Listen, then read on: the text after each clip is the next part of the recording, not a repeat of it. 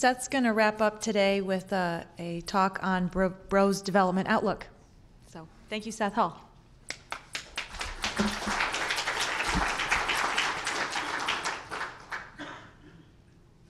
So um, it's funny because uh, a while ago, Robin and I were, were standing around talking to someone, and this was, this was a couple years ago. Um, and the person said, Bro is really great. Keep in mind, this is a couple years ago. Bro is really great. Do you see making a career out of this? there wasn't really an answer. We just kind of laughed because the, the one thing that we keep discovering is every time you get to the top of a mountain with Bro, there's a lot more mountains beyond it. And um, e- even if Bro is doing things that really no other system is doing, we keep finding more areas that can make your life better. And, and your life better could be uh, easier to accomplish something you didn't think you could accomplish, like analyzing 10 gigs of, of traffic. Not a 10 gig interface, but 10 gigs of traffic, or, or 20 or 30 or 50. But actually looking at all that traffic and trying to make sense of it. And then uh, later on, even taking Matthias's project that he was showing. And, and so this is actually lots of ideas from lots of people. Most of the ideas don't actually come from me. Actually, very few of them do. but um, it's, it's this general approach of you get a lot of smart people together and you actually get them talking and you get them very interested in you. We're not interested in really doing things for the sake of doing them. It's, it's, the whole interest is in, at least for me, and I know it's slightly different for people that, that do actual research. I, am probably the worst researcher ever. I, my name has gotten on several, but I, I've not done anything for them. I don't deserve to be on half those papers. Um, but but it's, it's actually interesting when you really focus on the users and say, we want to make users into magicians in their organizations. And we want to make them able to suddenly, you know, tomorrow install something and actually accomplish 10 times more than they were able to before. And, and beyond that, even think about their problems and their, their domain they're, that they're working on in a different way. And I think that we've started to achieve that with Bro and, and things in the Bro universe. But I, there's a long way to go still. Um, so, some of the work that uh, Robin has been working on for a while, because HILTI and BinPAC aren't enough for him. Um, he, he recently, in the last uh, couple of years, added dynamic plugins to Bro. They were merged in really soon after the, uh, the, the 2.3 release happened. We want a long time to kind of play with these things because we don't know what this means. It's very similar to like Apache dynamic plugins. Like you have a shared object, so you add, uh, uh, what, are, what are any Apache modules? But you, you can think of like it's adding you know, extra functionality without having to rebuild Apache. So this is adding extra C++ level functionality without having to rebuild Bro. Um, so there are some things that are actually changing in, in Bro, and, and they're changed in master right now to some degree. Uh, because that code was merged in so that we can get a long time to play with it because the, the scariest thing is coming out with a release that, that is, is troublesome. Very troublesome. We're all, you're always going to have little troubles. Um, so some of the things like uh, protocol and file analyzers they're broken out into plugins. Some of them are, are static plugins. They're, they're organized slightly differently internally, but they get built into Bro. But you have the ability also to do dynamic plugins. So you could write an analyzer, and this is pre BinPAC++, plus which turns analyzers into scripts. So this is saying there is a file analyzer or a protocol analyzer that I wrote in BinPAC, or please don't do this, but wrote in hand, wrote by hand. Um, I, I wrote this and now I put it on GitHub and someone installed it. They didn't rebuild Bro, they just installed this, uh, this analyzer. It could also be um, writers and uh, input sources and log writers. So say, um, what's an example? Uh, someone, something someone mentioned to me yesterday, I think, a Kafka writer out of Bro. Say that you want Bro to write Kafka logs and we have not provided that functionality. Well, you sit down and you write the code that does that, and then you tell people, go to GitHub and install this thing, and people install it, and suddenly they have Kafka writers. Or, or, or whatever other output or, or input. You know, say you want to read from some other mechanism or something, you could actually do that too. There's also packet sources. So right now, our, our primary packet source where we acquire packets from is uh, libpcap. It doesn't have to be that way. Those were abstracted into in they were abstracted in 2.3. That's right. It, oh, okay. Well, they're they're abstracted. They're going to be abstracted in 2.4, and they're written as plugins. So, for instance, may, we may ship like a um, a NetMap plugin but you, uh, using the, the native NetMap API. But there could also be a pfRing plugin that uses the native pfRing API. So it, it, there's not a, lot of benefit there, but you know, it is, it's opening the door to, to do that. You can also do things like um, uh, do, do BIFs as plugins. So if anyone's familiar with what a BIF is, it's a function that you can call in a Bro script that is essentially implemented in C++. So, it, you know, on one hand, it's a little scary to do that stuff because if you have a bug in that and someone installs that, that BIF, you could lead to them getting compromised, which is not a fun position to be in, being the one at fault for getting someone compromised because of a bug. So the dynamic plugins are, it, it's, a, it's a pretty big deal. Um, it's, it's very likely, actually, that we'll be building something akin to uh, Ruby gems or pip or whatever, whatever pip is built on because there's another Python package manager. But um, all of these kind of package management systems, that will be coming to Bro. And the dynamic plugin stuff will probably be part of that. So you can imagine installing Bro, and then maybe we build it through Bro control, and I'm, i have no idea how this will get built ultimately. But imagine going into Bro control and saying, package install Kafka writer. And it goes, compiles it, and suddenly you have a Kafka writer. You're done. That sounds kind of nice from a deployment perspective to be able to do that, where you don't have to go to GitHub, you don't have to clone the repository, you don't have to do all of this stuff. You just install it. It should also give us a good opportunity actually for providing people mechanisms to be able to put testing infrastructures into these plugins. So say there is a, um, uh, say there's an analyzer and it out, by default outputs some log, and you really, as they work on the analyzer and as you upgrade Bro, you want to make sure that that thing continues to work. So we would be, they would be able to have a testing infrastructure, and then it, it could even, it, they'd be able, to, be able to have a testing infrastructure that could ensure that it continues working the same. And you can imagine even going further. Well, you want to know that so you've downloaded all these different modules, right? And you put it into your, uh, your production deployment of Bro.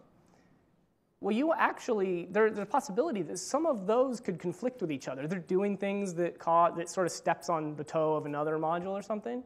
But if you have all of this test infrastructure and you say, this collection of, of um, modules and plugins um, this is my production thing. You could actually say test with all of this together and actually sort of run all of it and do all the tests for all of those different plugins to make sure that if they step on each other's toes, hopefully it breaks the test. So you actually find out, oh, well, there's something conflicting with this one. So moving on from dynamic plugins. Um, there is a project going on right now that is heavily reworking bro control. So Bro Control was originally written in 2007, 2006, something like that, when the, there was a cluster paper. Almost every, so many things in Bro have papers written about them. Um, so there was a paper on sort of this model of horizontally scaling traffic monitoring by having lots, by distributing the traffic and having lots of processes monitor it and, physical hosts monitor it. Um, so Robin started writing this tool called Cluster. And it was very specific towards this notion of, well, we're going to be running a lot of Bro processes. We should probably help users instrument and orchestrate all of that complexity to wire them all together because they're not independent. They're all talking to each other, and there, there's a lot of you know, communication that needs to happen, and they need configured in very specific ways. So he wrote this thing called Cluster. And it was really built around this notion of just helping users get this set up. And then I started running it in production at The Ohio State University, and um, I told him six months later, and he wasn't, he worried about it a little bit because this was not a production tool, and I told him I'd been running it in production for six months. Um, so the problems, though, that that, that that brings up is that bro control is what came from cluster. It was, it was a rename. It was the cluster shell suddenly became bro control. Um, it inherited a lot of old assumptions and it inherited um, it, it inherited its domain, which was to specifically help someone set up a cluster, not for this larger task of how do I run bro. I mean, I, I, think that's probably right. So it, it, was a little too narrowly focused because it was it had a task to accomplish, and there was the top of that mountain hadn't been reached yet to see the next mountain that was this is a good thing generally for lots of different tasks. So lots of work has gone into it, and like Daniel Thayer's, eh, you know, fixed bugs in it, and um, uh, lots of people have added various features, and there was a lot of work that got put into it before the 2.0 release to separate Bro scripts out of it and put them into Bro. Um, but now, uh, Justin Azoff is actually leading a project to turn this into Bro Control D. What is Bro Control D, you might ask? Um, it's this, uh, we believe what it's going to end up being. There's still some very, very low level work that uh, Justin and Daniel are working on right now. But we believe what this is going to end up being is a persistent process. So there will be no more bro control cron, I believe. And yell at me if I misspeak anywhere. Um, we believe that this is going to end up with a persistent process that sits there connected out to all of your infrastructure. If you have 10 boxes, it'll stay connected to them all the time. And um, so there's no more bro control cron. You just have to make sure that, that bro control D is continuing to run. It stays connected out to all of them, and it's just checking to make sure things are running okay and um, doing housekeeping or whatever. But it will expose a REST API. So if you want to restart your cluster, maybe you'll run a tool called bro control. Maybe when you run that tool, it'll look exactly the same as what you have today. But internally, it'll be implemented totally different, where it's actually only hitting bro control D's REST API, getting results back, showing you the results. From your, from your perspective, nothing changed. Um, except for you don't have to do bro control cron, and you have this process you have to keep up all the time. Um, the other thing this enables is, is if it is a REST API, you can write a web interface on top of it. So suddenly you can have Bro Control D that is actually a web interface. And I, I, I'm not sure if I'm ambivalent to that or if I like the idea. I don't know, but I like the idea of it being possible to do that. So you can actually have it do one of the various JSON data returning things, and, and you could actually like, you know, make a real web interface for this thing that directly communicates on the back end with Bro Control D. Um, I, I, hope over time, this is not part of the initial stuff, but I hope over time there's a lot of functionality that will be added. My, my goal eventually is I want to see sites that have, let's say, 500 physical hosts that are distributed across the world. So enormous, enormous monitoring infrastructure. What I would like to see is them running Bro Control D from one location so that they don't actually run a cluster here and a cluster here and a cluster here and a cluster here. They run bro control D from one location, and they actually put a log, like, so, and maybe they don't want to centralize logs because that's actually a lot of complexity to saying, we're going to bring all the logs back. So maybe what they want to do is eventually run VAST distributed out to all these places, which Bro Control D hopefully would be able to instrument a little bit, maybe. Maybe they would also, um, maybe they just want to keep text logs. So they would run log nodes all over the place. So the logs come towards the center until they hit a log node and then they stay there. So if you do want to centralize them all, just remove all your log process nodes and then restart, and suddenly you have logs coming into the center. So I, I think this is actually achievable. I, I, don't think that there's really any limitations to doing this. There are a lot of technical issues to work through to get there, but I, I don't think this is unreasonable. But it, it, that won't be the first rewrite. I, think that the bro control rewrite will probably hit in 2.4 or uh, I rewrite's the wrong word, rework. So there's another project that uh, Matthias, so moving on, so we've covered Dynamic plugins. We've covered Bro Control D, the Bro Control to Bro Control D rework. Um, there's another one because there's been a big recognition for a long time that uh, the communication code in Bro, which was I think written in about 2002, 2001, 2002, something around there. All right, so two, let's 2003. Bro has essentially been a, a, for lack of a better phrase, a distributed event queue since, since 2003. No one knew that. I still don't think people accept that. Um, so it's been a distributed event queue. The problem is that it was, it was done for a paper, right? Okay, so the code, again, another one that was done for a paper. It was done for a paper. It was written well. Um, the, but under high load, we've had some cases that we can't reproduce. we've tried to reproduce this one bug that has sort of vexed Bro for a long time, and we have not been able to reproduce it except for in production under heavy load. Um, maybe you guys have seen it. It's, uh, you'll get a crash and it'll say something about pole 115. Who's seen that error? Yes, exactly. exactly. Um, there's a very specific reason that is 115 that we don't need to go into, but there's also a problem. I mean, ignoring the bug, right? This, that's a definite bug. So there's also a problem conceptually with the way things are organized right now. You have Broccoli, which is a C implementation of the Bro protocol. Then you have Bro, which internally has the internal implementation of the Bro protocol. That sucks. They, they're not the same implementation. They are not feature compatible. They, Broccoli does not support everything you can say over the Bro protocol. So we talked about it for a really long time, and um, John Siwek is now working on a thing called Broker. Broker is using libcaf that Matthias talked about. It is the C++ actor framework, and it is um, a rewrite as a library of the domain of let's it's a it's a it's a jeez i don't even know the right way to describe it. It's, it's basically suited to bro. So you have suitable data types you have suitable um, event model and it gives you the ability to transport events and other necessary uh, messages that we need to send between bro processes. But the best part is because it's a library the, eventually, and I don't know how this will actually proceed, but eventually what will happen is the code in Bro that does the communication code will be ripped out. And Bro will just use broker. But you could write a C program or C++, or people could write um, Ruby bindings and also use broker and talk to bro processes or talk to, eventually probably talk to VAST through, through the, this native communication mechanism.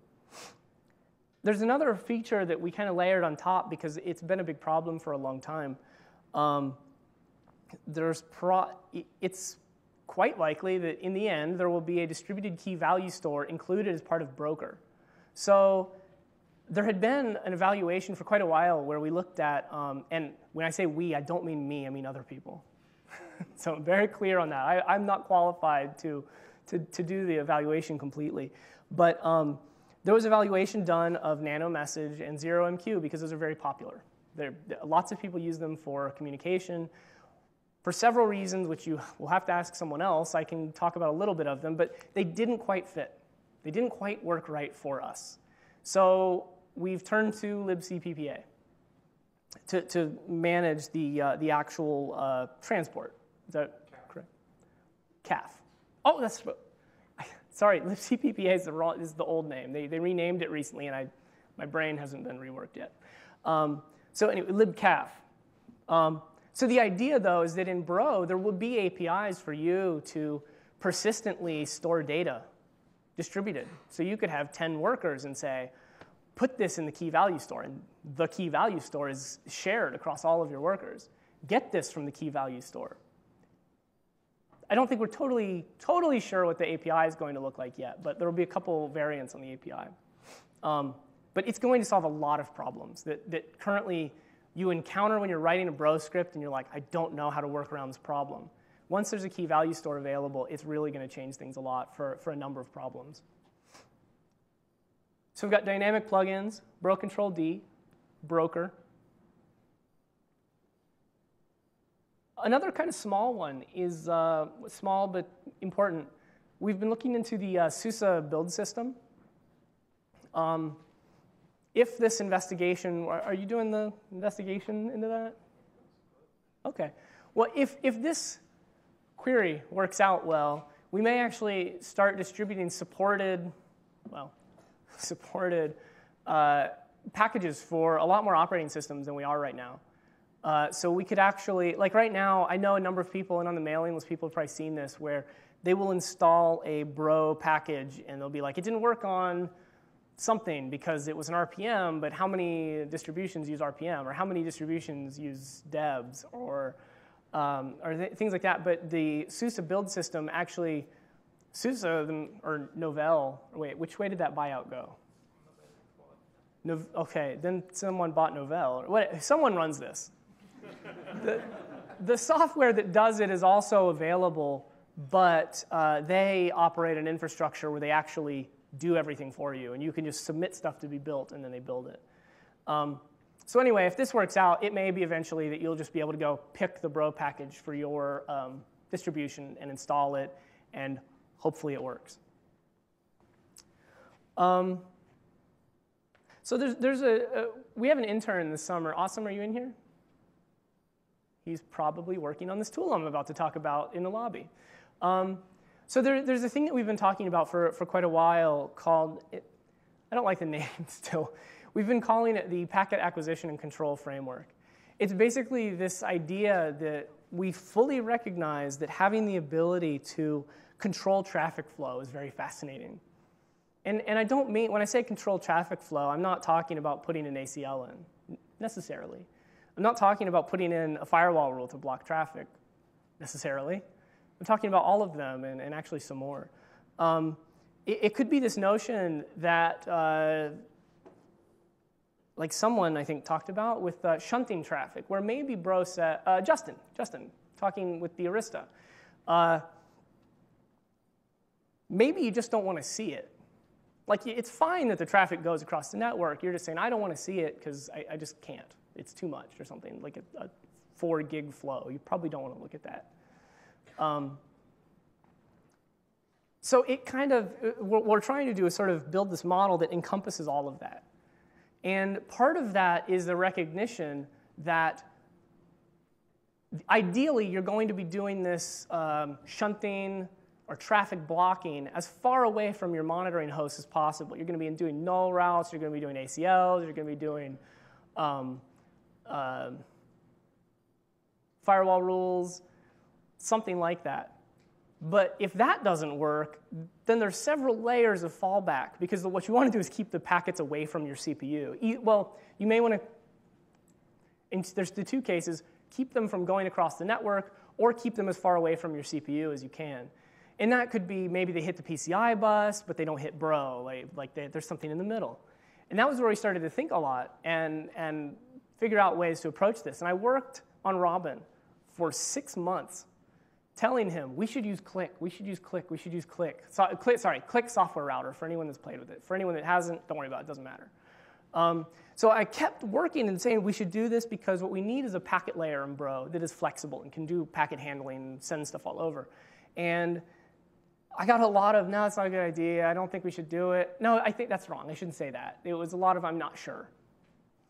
And one day we were doing a call, and I said, I think I'm not, I don't like the idea anymore of using click. And he told me, actually, I was just, I just got, became convinced that we should. So then we talked to the guy that wrote click, and we discussed all of the stuff with him. And over time, I think we kind of realized that it would be actually very hard. It, it wouldn't be a good deployment, and there'd be some technical issues if we had gone that route. But now our intern in the summer, uh, um, he has built a tool that is basically informed by click and very, very flexible in the sense that you can read an interface, send it to a duplicate. This is configuration. This is not like, like, this is just how you configure the tool. You could read traffic from an interface, send it to a duplicator element, duplicate it out to two different things, and then have, and maybe attach load balancer elements to both of those, and then say, load balance out to 10 bro processes, and also load balance out to three snort processes. And, and this is, there's a huge range of things that you could do with this. So the 10 bro processes, what they end up sniffing, the user interface is actually provided by NetMap. So we had talked to the guys that wrote NetMap, and they added some features for us, and it, it sits on top of some other features they had already implemented. You may end up sniffing an interface that is basically, I'll, I'll gloss over the technical part, but it could be a, an interface. So you run bro-i bro1 bro 2, bro 3. So it's very clear as to what's happening. You're saying, I have a virtual interface named essentially bro 1, bro 2, bro 3, bro 4, bro 5. And then you have snort 1, snort 2, snort 3. Maybe you have another one that, that the packets are all being copied to also that, um, that uh, you just use on demand for like TCP dumps. You can run TCP dump dash i, TCP dump 1. And that gives you all the traffic, just in case you're curious. And I probably shouldn't go into any more on that, but that discussion can go on for a surprisingly long time, as I discovered this morning. Um, there, there's, it's, it's, there's a lot of stuff you should be able to uh, construct with it. Um, so let's see, we got dynamic plugins, Bro Control D, Broker. I'll skip over VAST and BinPAC++. Those have been talked about already. Um, SUSE build system. Uh, so get two minutes left. There's, there's kind of one more thing I wanted to, to add in at the very end. Um, Broala has had some analyzers internally that we've been working on. And um, we have actually open sourced them already. No one knew because they were just like one commit into the Bro repository. But uh, the Bro repository actually has analyzers now for um, MySQL, which is neat. You can see queries that are happening over the MySQL protocol. Um, there's another one for Kerberos, so you can actually see like Kerberos authentication. So if you're monitoring at your border and people are using Xboxes, you can actually see them logging into Xbox or what's it called, Xbox Live or something. You can actually see them logging in. Vlad has discovered that you can actually see the video game they're playing in some cases. Which is interesting. I, I, don't know what you would do with it, but frequently that's how stuff starts in Bro. You say, I don't know what you would do with it, but what the hell, we collected it anyway. The other one that I think a lot of people are mostly, mostly interested in, though, is this protocol called um, Server Message Blocks or Common Internet File System. Um, it has a lot of functionality in it. I, I, don't think it's possible to make a complete SMB analyzer. the, the protocol is so huge that it would be nearly impossible to say this is complete. But for some form of, for some variant of complete, it is, and, and it works. And um, it's going to be really fascinating to see what people do with it. It gives you a lot of visibility into what's happening on your network traffic, or sorry, on your file servers. So this is something you can start putting sniffing points in place in front of data centers because you have clients that are talking into these data centers. And there are a lot of files being transferred, it turns out. Um, there are, uh, and, and, as you would expect, the files are actually fed back into the file analysis framework, so you can do things with them because why not? Um, there, there's also things like, say someone opens a share, and I believe this is the actual sort of user experience. Say someone opens a share on the network and it loads a directory of files. Wouldn't it be interesting if you had MAC times back in time for the files on that file share? Because the logs right now by default do that. And they give you that. So if you have an incident and it involves some particular file on your network, uh, some, on some file server, and you have logs going back six months, you'll actually see uh, what, are, what are all the MAC times? Um, modified, access, uh, created, and the changed one that makes no sense to me still. Um, so anyway, those four times, they all show up in the log. And you have the ability then to actually search back in time through your logs and say, that file at that time, at that day, had this timestamp on it. Maybe the disk was shredded and you don't even have it anymore. You have forensic data off the disk in your bro logs, which is really weird. And, the first time I saw it, it was very confusing because I was like, wait a minute, this is sort of changing things a little bit because suddenly I have forensic, I have host forensic data that I don't even have on the host. I don't have that data anywhere, but suddenly I do. And uh, having MAC times back in time at points in time, i i- it's fascinating.